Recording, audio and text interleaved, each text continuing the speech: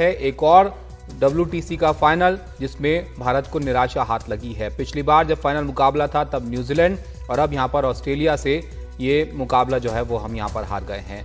विमल लगता है डब्ल्यूटीसी के लिए और तैयारी भारतीय टीम को करनी पड़ेगी। जिस तरह का आज मैच रहा, पहले ही सेशन में इतने सारे विकेट निकल गए।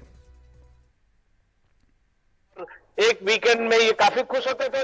ये मेमोरीज होती है जिसके सहारे जो टीम इंडिया के फैंस जिसके सारे टीम इंडिया भी उत्साहित होती है और ये फैंस भी होते हैं। लेकिन ज़ाहिर तौर पे टीम इंडिया के हार पे कुछ कहना चाहेंगे कोई? बहुत दुख हो रहा है बहुत दुख हो रहा है।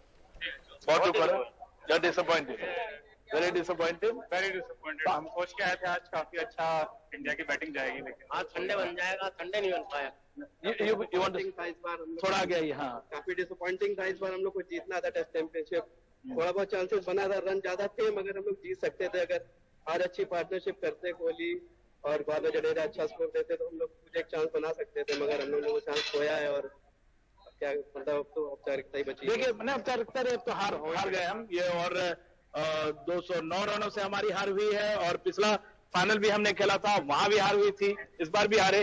तो बहुत बड़ा मौका आईसीसी ट्रॉफी को लेकर जो हमारा बना हुआ है कि हम नहीं जीत रहे लंबे समय से, वो बहुत बड़ी हार हमें देखने को मिली है।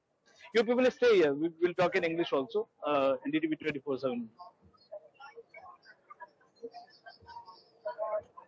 Vimal अगर आज के मैच का हम आकलन करें, जिस तरह से कल का खेल हुआ था, तब से उम्मीदें जो है थोड़ी जग गई थी। विराट कोहली अजिंक्य रहाणे की बल्लेबाजी हमने देखी।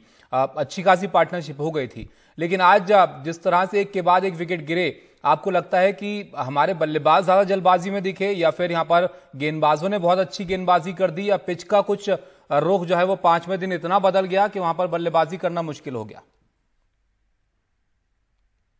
लगातार देखिए बारह चौदह खिलाड़ी जो है आपके, जो बाईस अगर खिलाड़ी है, दो, दोनों इनिंग में बैटिंग की, चौदह खिलाड़ी आपके बीस से पच्चीस से स्कोर कम बनाते हैं, दो या तीन फिफ्टीज होती है। इस तरह से आप मैच नहीं जीत सकते। आपके बल्लेबाजों ने आपको मायूस किया है और जो कहें कि जैसे कि आईपीएल के बाद आपने पूरी प्रैक्टिस नहीं की, आपको इंट्रोस्पेक्शन की ज़रूरत है। आप मतलब बार बार आपको ये फैंस आपको इस तरह से केवल सपोर्ट नहीं करेंगे।